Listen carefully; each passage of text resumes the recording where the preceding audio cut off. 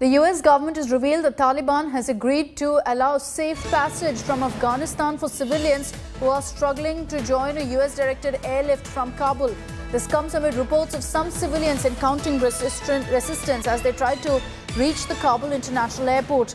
The airlift was back on track and being accelerated despite weather problems and regular communication with Taliban leaders. So now the US government saying that the uh, Taliban has agreed to ensure safe passage for everyone who wants to leave, who wants to board a flight and leave Afghanistan with them taking over.